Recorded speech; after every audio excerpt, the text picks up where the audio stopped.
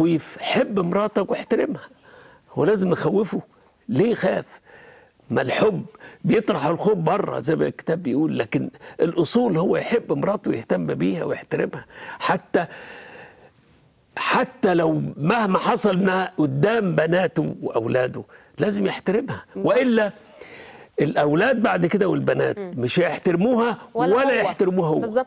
بشكرك يا سيدنا إن إن نيافتك وضحت فكرة إنه مهما حصل ما يصحش امد إيدي. يعني عيب. مهما كانت حتى مهما كانت هي ست مستفزة ومهما كانت هي بتزن وما ما ينفعش يعني توصل العلاقه لدرجة إنه هرد بمد الإيد وقدام الولاد. لا أنا هسأل الزوج ده هل ترضى مراتك تضربك قدام بناتك ولادك؟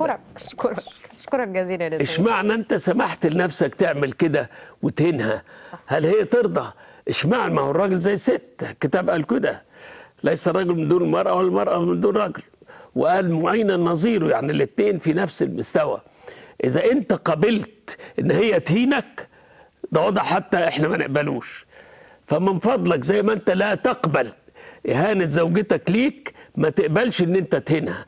دي لحم من لحمك وعظم من عظامك زي ما الكتاب بيقول.